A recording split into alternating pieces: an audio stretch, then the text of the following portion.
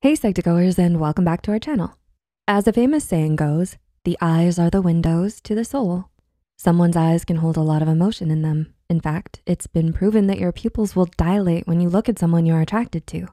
Of course, it's not just attraction. Eyes can be incredibly expressive and revealing. If you wanna see what your eyes say about you, take this short 10 question quiz to find out. First, grab a pen and paper or some way of recording your answers. Choose which statement fits you the most and write it down. At the end of this video, we'll tell you the results. Let's begin. Number one, do you keep your true self hidden from people? A, not always, but only when I have to. B, only my deepest secrets. C, yes, people don't need to worry about me. D, yes, I don't talk to anyone about it. Or E, no, I'm an open book. Number two, how do you feel right now? A, I feel terribly lost. B, I feel annoyed at everything. C, I'm feeling extremely depressed. D, I'm alert and cautious. Or E, I feel happy. Number three, how does your heart feel emotionally? A, betrayed, cracked. B, I feel hatred for someone. C, I feel shattered and down. D, I feel cold and emotionless. Or E, happy, fulfilled, ready to take on the world. Number four, what's your wish right now? A, I wish I knew how to answer that. B, I wish for vengeance for the people that hurt me. C, I wish I loved myself more. D, I just want someone to talk to, anyone. Or E, I wish everyone's problems would go away. Number five, are you good at concealing your true emotions from others? A, not at all. B, sometimes. C, it depends. D, yes. E, I wish I was, but nope. Number six, when do you cry? A, when I'm stressed and have no sense of control. B, when my emotions want to burst out. C, when I bottle everything in and can't hold it anymore. D, when I have no one to talk to. Or E, I don't find the need to cry. Number seven, how do you spend your time? A, in a state of constant worry. B, keeping my mind busy. C, hiding my real emotions or thoughts. D, alone all the time. Or E, getting out and enjoying life. Number eight, do you sleep well at night? A, I barely sleep. B, no, I only sleep around five to six hours. C, yes, I get about eight hours in. D, I sleep for way too long. Or E, I sleep great and wake up refreshed.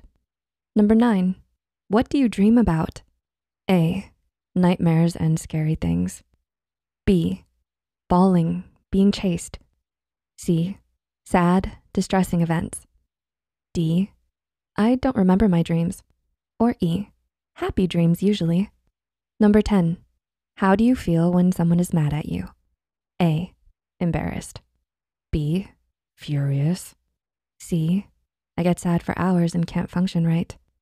D, sorry and in a constant state of guilt for days. Or E, sad, but not for too long. Okay, are you ready for your results? Tally everything and find the letter that appears the most.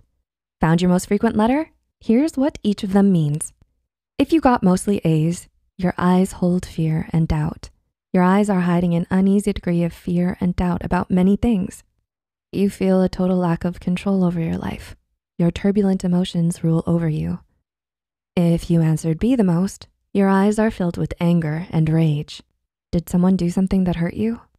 You have a lot of anger inside you and it's welling up inside and waiting to burst. Or maybe you already manifested it in your actions, whether you recognize it or not. You can keep your anger under control at times, but there are days when you just feel like lashing out to the world and all its unfairness. If you answered mostly C's, your eyes hold sadness. You have more than a few reasons for your bouts of sadness, but you tend to keep it all under wraps. Maybe you're trying to seem strong even when you're at your breaking point every day. Or maybe you're protecting something important to you, and by sacrificing yourself and bottling your emotions, you make everything seem fine and happy on the surface. If you continue to bottle everything inside, eventually it will overflow and explode. If you answered mostly D, your eyes feel a sense of loneliness. You feel lonely and misunderstood, even with a group of people.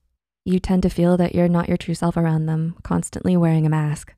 You want to be genuine with someone, anyone, but you feel that there's no one that you can confide in.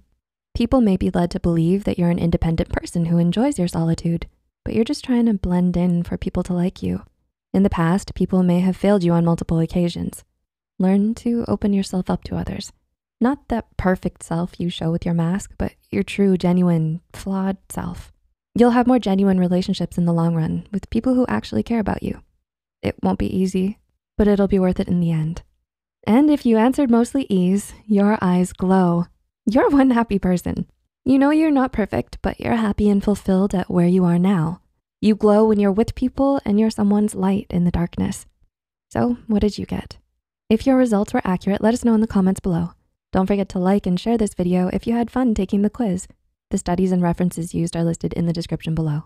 Make sure to hit the subscribe button for more Psych2Go videos and thank you for watching. We'll see you next time.